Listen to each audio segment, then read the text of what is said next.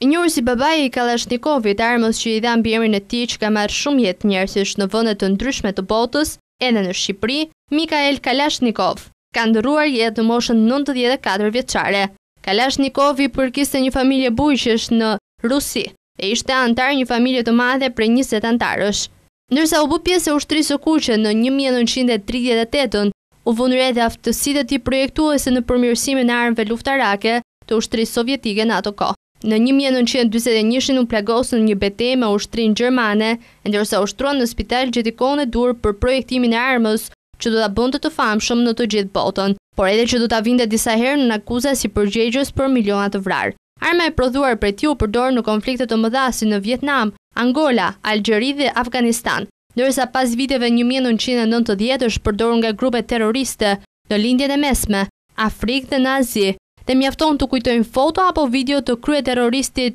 Osama Bin Laden, që gjithandej shfaqej me kallashnikov. Lehtësia për t'u përdorur, saktësia në shënjestër, por edhe çmimi i lirë i saj e bëri kallashnikovin armën më të përhapur në botë. por edhe pse ishte shpikësi i kësaj arme, Kalashnikov nuk pati ndonjë përfitim të madh, pasi lehtësia në prodhimin e kësaj arme bëri që shumë vende ta prodhonin vetë atë, pa e porositur në Bashkimin Sovjetik. Përfitimet për Mikhail Kalashnikov erdhën vonë, në moshën tetëdhjetë e tre vjeçare, kur ai pas një gjyqi fitoi tridhjetë për qind të aksioneve të një kompanie gjermane të prodhimit të çadrave dhe ujit mineral që përdorte emrin Kalashnikov. Pas viteve nëntëdhjetë, Kalashnikov u akuzua si përgjegjës për miliona të vdekur prej shpikjes së tij, por ai e refuzoi këtë përgjegjësi, duke u përgjigjur se kishte si objekt të mbroheshin kufijtë e atdheut të tij dhe se faji u takon qeverive e politikanëve të vendeve që u përdorën në masë dhe jo i shpikësit të Kalashnikov.